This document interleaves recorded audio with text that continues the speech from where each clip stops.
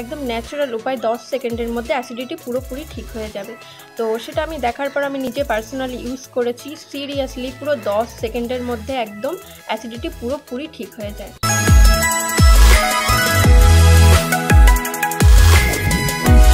হে আসসালামু আলাইকুম friends positive Azmira চ্যানেলে তোমাদের সবাইকে স্বাগত।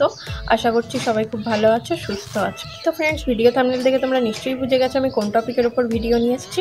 তো ফ্রেন্ডস একদম ন্যাচারাল উপায় কীভাবে অ্যাসিডিটি ঠিক হয় সেটা আমি আজকে এই ভিডিওর মধ্যে বলব। কীভাবে আমার ন্যাচারাল উপায় অ্যাসিডিটি ঠিক হয়ে গিয়েছে সেই রিভিউটা আমি আজকে দিতে তো ফ্রেন্ডস প্রত্যাহিক জীবনে এমন কোনো মানুষ নেই যে সে বলবে না যে আমার অ্যাসিডিটি হয় না। প্রত্যেক মানুষেরই অ্যাসিডিটি হয়। আর এই অ্যাসিডিটি হয়ে যাওয়া খুবই একটা অস্বস্তিকর ব্যাপার। সে খাওয়ার উল্টোপাল্টা হওয়ার কারণে হোক আর যে কোনো কারণেই হোক আমাদের অ্যাসিডিটি হয়ে যায়।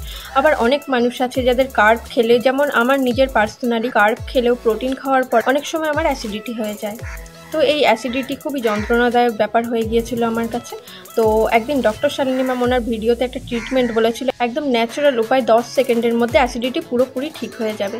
তো সেটা আমি দেখার পর আমি নিজে পার্সোনালি ইউজ করেছি সিরিয়াসলি পুরো দশ সেকেন্ডের মধ্যে একদম অ্যাসিডিটি পুরোপুরি ঠিক হয়ে যায়। তো ফ্রেন্ডস ন্যাচারাল উপায় দশ সেকেন্ডে অ্যাসিডিটি ঠিক করার জন্য কি কি ইনগ্রিডিয়েন্ট ইউজ করতে হবে সেটা ফার্স্ট দেখে নিই, চলো। তো ফ্রেন্ডস এখানে সমস্ত ইনগ্রিডিয়েন্ট নিয়ে নিয়েছি।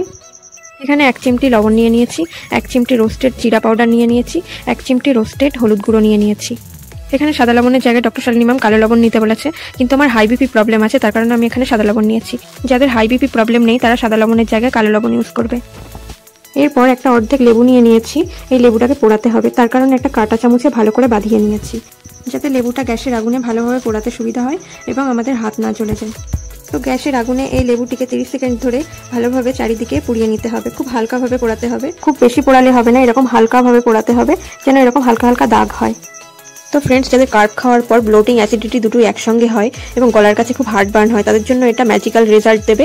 এছাড়া যাদের পেট খুব গরম এবং যাদের খুব কনস্টিপেশনের সমস্যা আছে, তারা মৌরি ভেজে সেই মৌরি গুঁড়ো করে এক চিমটি মৌরি গুঁড়ো দিয়ে দেবে এর সঙ্গে। তো এখানে পোড়ানো লেবুর উপরে সমস্ত কিছু দিয়ে দিয়েছি। এখন গরম গরম এই লেবুর রস খেয়ে নিতে হবে।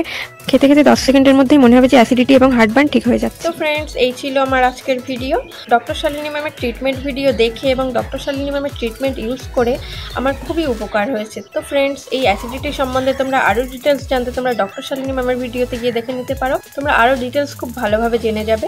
ফ্রেন্ডস এটা খুবই হেল্পফুল একটা ভিডিও তোমাদের যদি ভালো লাগে, তোমরা এটা ইউজ করে দেখতে পারো। দশ সেকেন্ডের মধ্যে অ্যাসিডিটি পুরোপুরি ঠিক হয়ে যাবে। তো আমার এই ভিডিওটি তোমাদের যদি ভালো লাগে, অবশ্যই একটা লাইক করে দিও, একটা কমেন্ট করে দিও, আর একটা শেয়ার করে দিও।